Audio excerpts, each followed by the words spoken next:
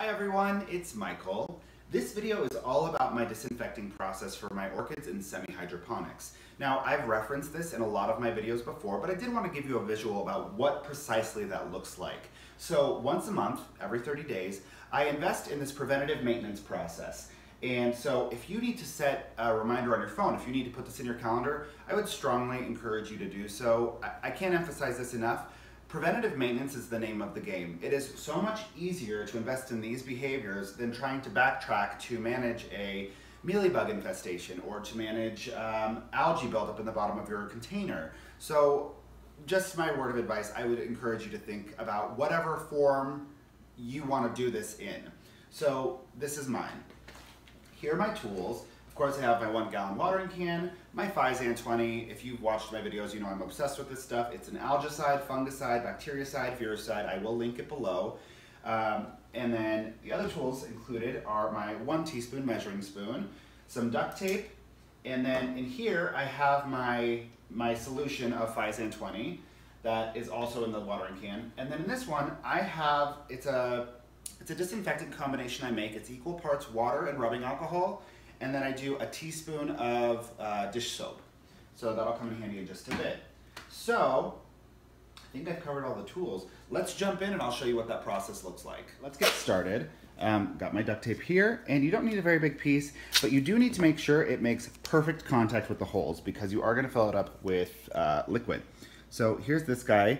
Go ahead and place it right over the aeration holes. And I just like to give it a little rub down to make sure it's airtight seal and you just close it right off. So now I'm gonna go ahead and repeat that process with all the other containers. All right guys, I think I did it.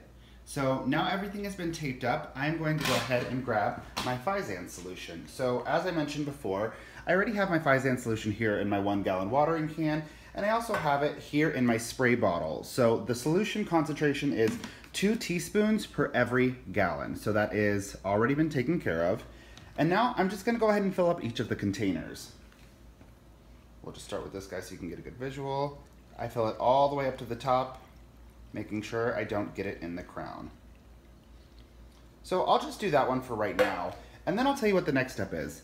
In this bottle here, I have my solution of rubbing alcohol, water, and dish soap. I'll put the proportions in the description below. But now what I do is just go through and disinfect.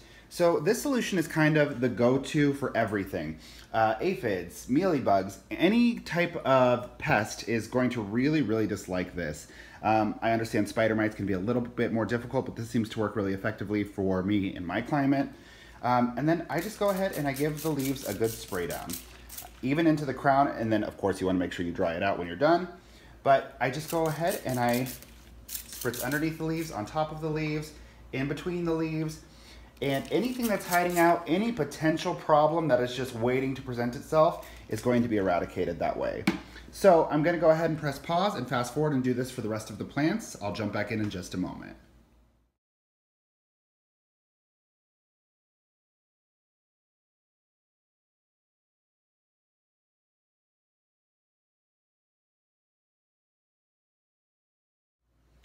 All right, guys, I have just finished that process. Now, all of them are soaking in their Physan 20 solution, and they've all been sprayed with the combination of rubbing alcohol, water, and dish soap.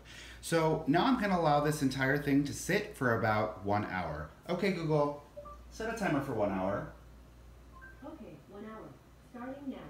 Perfect. So you may be wondering what exactly does this accomplish? So Physan 20 is going to make sure that there is no buildup, there are no viruses, there's no bacteria, that there's no algae that is taking hold of your roots or any of the potting medium. Of course, the leca beads are a little bit more resistant to those classic types of problems. However, you still want to be sure.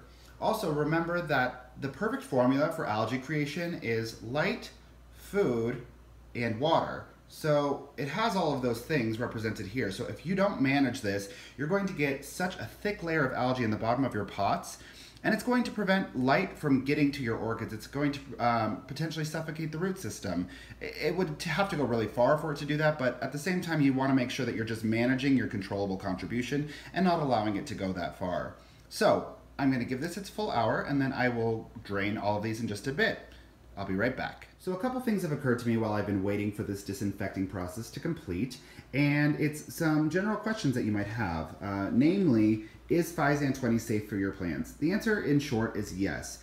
Um, assuming, of course, that you're using it in the proper concentration and that you are using it at the right time. Again, I do this once every 30 days. So these plants do not live in Physan 20 solution. They're not watered with Physan 20 solution. This is just a disinfecting process. So yes, the Physan 20 is just fine for the plants. Uh, the second question is, can I use the dish soap and alcohol solution on flower spikes and flowers themselves? And the answer is no, don't do it. I made that mistake because I'm dumb. And what it does is it just dries out the flowers. It can cause bud blast. So the way that I handle that is when these are in spike, when they are in bloom, I will just take one of those produce grocery shopping bags and slide it over the flower spike. I'll go to town spraying and then I will remove it when I'm done. Bear in mind, however, here's the disclaimer. Mealybugs, aphids, they love hiding into flower spikes. They love, they love hiding in blooms. So if you identify that you have an outbreak, it's probably best practice for you to go ahead and remove that flower spike anyway. And that would be the only caveat, that would be the only exception I would say. Yes, spray the flower spike and then cut it off or cut it off and then spray the plant, however you need to do it. All right guys, we have arrived at the last step in this process. We are at my very glamorous kitchen sink and we are going to remove the duct tape and allow these plants to drain. So I'm just gonna go ahead and do that.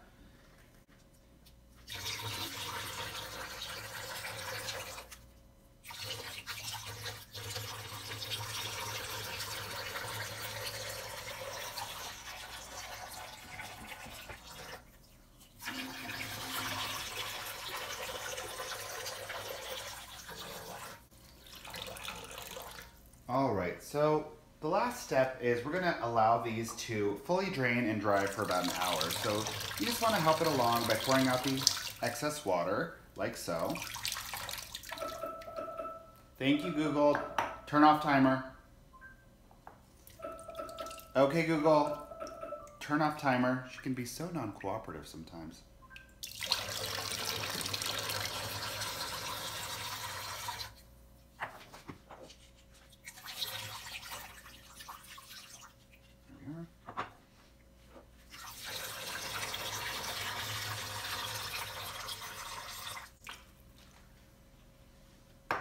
All right, guys, and that's pretty much it. What I'm gonna do from here is I'm gonna allow this to sit for about an hour now that it's been drained. Um, and then I will resume with my regular watering and fertilizing process, which I will link below. And that's just a really great way to keep your plants happy and healthy. Thank you so much for tuning in. Um, as always, if you have any questions or concerns, I encourage you to leave them in the comment section below. And be sure to like and subscribe.